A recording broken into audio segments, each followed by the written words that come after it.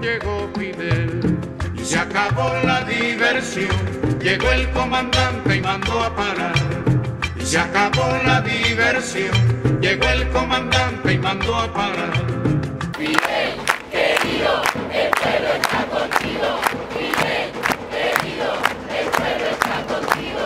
Fidel, querido, el pueblo está contigo. Compañeras, compañeros, lo primero que hay que decir en este día de dolor es lo que dijo el compañero de izquierda revolucionaria. Ni un pibe duerme en la calle en Cuba, ni un pibe, ninguna piba pasa hambre en Cuba. Y empecemos a hablar desde ahí, desde lo más concreto, para pensar cuáles son los horizontes de transformación que nos planteamos. Nosotros no peleamos hoy, cada desde hace muchos años y en condiciones adversas, para producir una transformación de maquillaje, una mera reforma.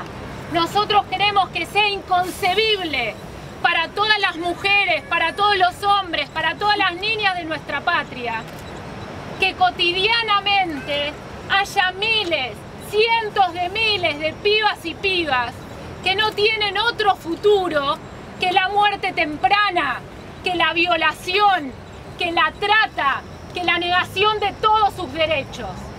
Y ahí está Cuba, y ahí está Fidel, porque hablar de Fidel es hablar de Cuba y de la revolución más avanzada de todo nuestro continente y también del mundo, compañeros y compañeras.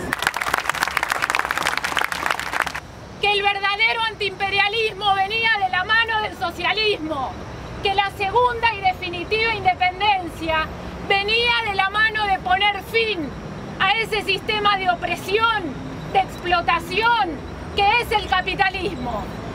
Y la revolución cubana nos mostró lo que puede dar un pueblo cuando está decidido a luchar, cuando está decidido a hacerse cargo de su propia historia y a defender el derecho a la dignidad, a la libertad, a la vida.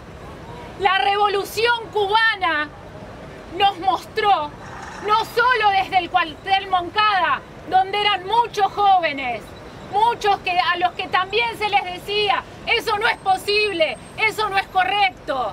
Y ahí demostraron que sí era necesario lo imposible, porque de lo posible ya sabemos dónde se termina y cuáles son las consecuencias para las mayorías excluidas de nuestro continente. También reivindicamos a la Cuba que resiste hoy, la Cuba que resistió el periodo especial.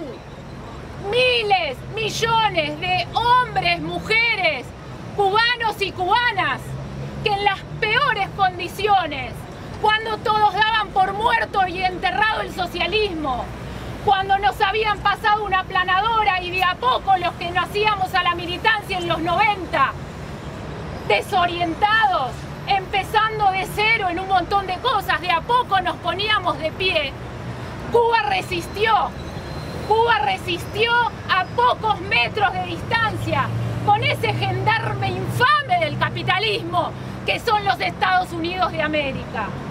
Entonces hoy, con el profundo dolor de la noticia de la desaparición del máximo dirigente de la revolución cubana, máximo referente actual de la lucha de los pueblos de América Latina, del tercer mundo y, por qué no, del planeta todo.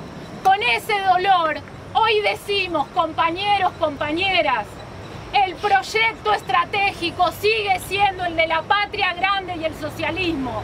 Sigue siendo la segunda y definitiva independencia.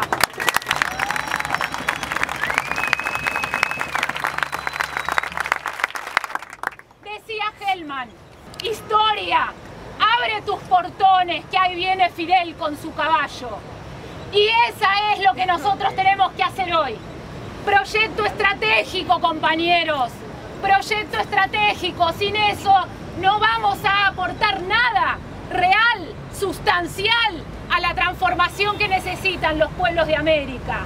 Hermandad latinoamericana, antiimperialista, en la lucha revolucionaria y poder popular, compañeros, porque sin pueblo podemos ser muy leídos, podemos hablar muy bien, pero no hay ninguna transformación si el pueblo no es protagonista de su propia historia.